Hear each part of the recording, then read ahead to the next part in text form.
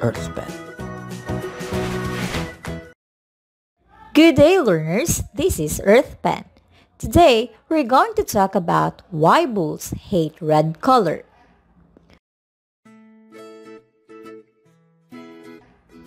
Whenever we heard the word bullfighting, an image like this always comes first in our mind. There is an angry bull ready to attack the man holding a red cape.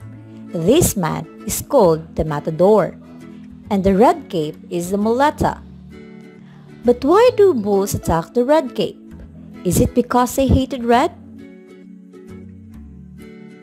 Actually, bulls doesn't hate red colors. In fact, bulls and other cattle are colorblind to red. Bulls get irritated not because of the color red muleta, but because of the movement of the muleta as a matador whip it around.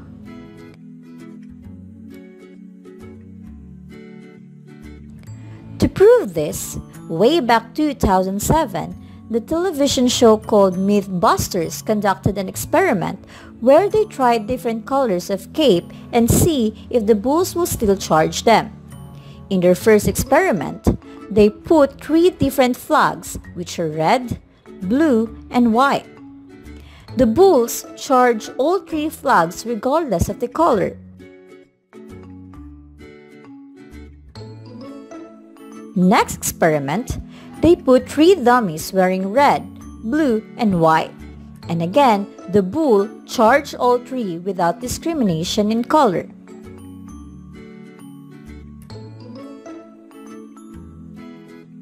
Lastly, they tried to put three people in the ring.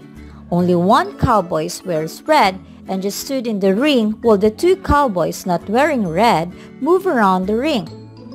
The bulls attacked the two moving cowboys and left the motionless red-dressed cowboy alone. So if bulls don't hate red colors, then why is that the matador always use red muleta?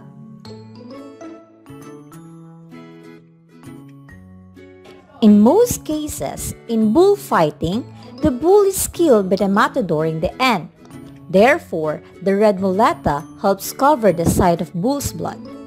So again, the bulls attack the matador not because of the red cape, but because of the movement of the cape as the matador whip it around.